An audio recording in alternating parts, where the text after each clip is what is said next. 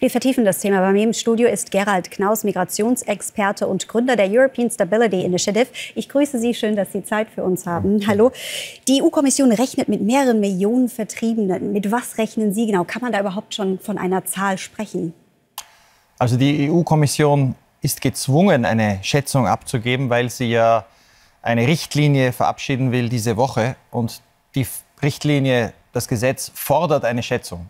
In Wirklichkeit wissen alle Praktiker in Deutschland wie in Brüssel, dass das Ganze nicht zu schätzen ist. Wir hatten in den letzten Tagen eine unglaublich hohe Zahl, also historisch einzigartig, einige hunderttausend Menschen in wenigen Tagen. Aber wir wissen nicht, ist die Ukraine in einigen Wochen wieder im Frieden, ist das Land geteilt, stehen dann russische Grenzschützer und Soldaten an dieser Grenze oder äh, wird das ein Konflikt wie Syrien? Also man soll von hohen Zahlen ausgehen, aber wissen tut es niemand. Aber wie kann denn jetzt in so einer ähm, Situation auch Deutschland bzw. die EU reagieren? Wie kann man denn jetzt hier welche Vorbereitungen treffen? Ich glaube, man muss drei Dinge machen, vor allem für die Politiker und die Regierungen. Das erste ist, man muss die Bevölkerung mitnehmen. Das ist immer eine Krise. In dem Fall ist das einfach. Ich glaube, die Empathie quer durch Europa, vor allem auch in der Slowakei, in Polen, in Rumänien, in Moldau, aber auch in Deutschland, ist unglaublich groß. Also die Bevölkerung steht dahinter. Das Zweite ist, man muss Dinge vorschlagen, die umsetzbar sind. Also nicht wie 2015, 16 sich in lange Verteilungsdiskussionen, die dann praktisch nicht zu realisieren sind. Die Leute kommen, viele werden von der ukrainischen Diaspora unterstützt werden. Es gibt äh, eine sehr große ukrainische Diaspora, die werden sich selbst verteilen. Das Entscheidende ist, dass sie einen Status haben. Und das Dritte, und das ist vielleicht das Schwierigste, ist, dass man die Klippen der Unmenschlichkeit, die passieren, könnten, umschifft. Also jetzt zum Beispiel nicht, äh, wie wir es auch sehen, in kleinen Zahlen an den Grenzen, äh, afrikanische Studenten, die in der Ukraine leben, der russische, die russische Frau des ukrainischen Mannes, äh, der, der aserbaidschanische Angestellte, die in der Ukraine eine Aufenthaltsgenehmigung haben, die auch fliehen, dass man die nicht zurückstößt. Aber das sind kleine Zahlen. Also wenn man das macht, die Bevölkerung mitnimmt, realistisch plant und aufpasst, dass man keine Gruppen zurückstößt, dann ist das Beste auf Sicht fahren und äh, sehen, was jeder Tag bringt. Bundesinnenministerin Nancy Faeser hat ja auch gesagt, das Ganze soll unbürokratisch ablaufen. Aber Deutschland liebt ja eigentlich Bürokratie. Also was kann denn auch Deutschland jetzt ganz konkret tun, dass das so unbürokratisch wie möglich abläuft? Also ich bin nicht Deutscher und ich nehme da Deutschland lieber in Schutz. Äh, ich glaube, Deutschland hat gezeigt, dass es in der Lage ist, die Regierung, die Verwaltung, man hat das ja schon einmal gemacht. Äh, hier auch unbürokratisch zu reagieren.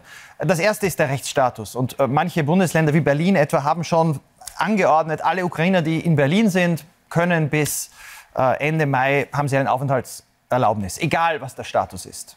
So etwas kann die Innenministerin anordnen nach dem deutschen Aufenthaltsgesetz, Paragraph 99, auch für drei Monate im Alleingang, wenn sie will. Und auf EU-Ebene wird diese Woche diskutiert, allen, die kommen, und man muss noch definieren, die Gruppe. Und wie das geprüft wird, ob die jetzt einen Pass brauchen, viele werden ihn nicht haben, aber die EU bestimmt die Gruppe, die dann auch einen Status bekommt. Das ist im Gange. Darüber hinaus muss man dann sehen, wie viele der Menschen, die ja nur temporär kommen wollen, ich meine, es gibt ja viele Männer, die gehen aus, aus der Europäischen Union zurück in die Ukraine, um zu kämpfen. Es geht ja, ja für die Menschen darum, ihr, ihr Land zu verteidigen. Und die wollen auch wieder zurück. Äh, wie lange sie bleiben, hoffentlich kurz, hoffentlich klappt die Fluchtursachenbekämpfung, die wir gestern gesehen haben, nämlich der Druck auf Russland, den Grund für diese Massenflucht.